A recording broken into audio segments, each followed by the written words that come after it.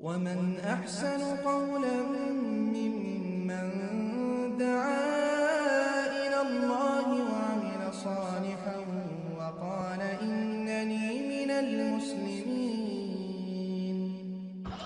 ওয়ালাইকুম আসসালাম রহমতুল্লাহ নাসরুল ইসলাম ভাই জানতে চাইছেন মসজিদ ছাড়া অন্যত্র সলাত আদায় করলে কি আজান দিতে হবে জি আজান দিয়ে সলাত আদায় করবেন বিশাল ফজিলত রসুল সাল্লাহ আলহিহাসাল্লাম বলেছেন আবু দাউদ বারোশো তিন নম্বর হাদিস রসুল সাল্লাহ আলহিহাসাল্লাম জানিয়েছেন যে আল্লাহ সুবাহ তালা তিনি ফেরেস্তাদের সামনে এটা আলোচনা করেন। গর্ব করে তিনি ফেরেস্তাদের সামনে বলেন যে, আমার বান্দাকে তোমরা দেখো উন্দুর ইলা আবদি, তোমরা আমার বান্দাকে দেখো যে সে আমাকে ভয় করে আদান দিয়েছে আদায় করছে। তোমরা সাক্ষী থাকো, গফার তোলাকা। আমি তাকে ক্ষমা করে দিলাম অদখল তহল জান্না আর আমি তাকে জান্নাতে প্রবেশ করিয়ে দিলাম।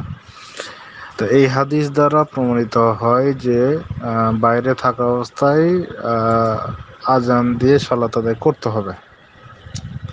যা রসুল সাল্লাহ আলহাসাল্লাম থেকে এই হাদিসের মধ্যে স্পষ্ট প্রমাণিত হয়।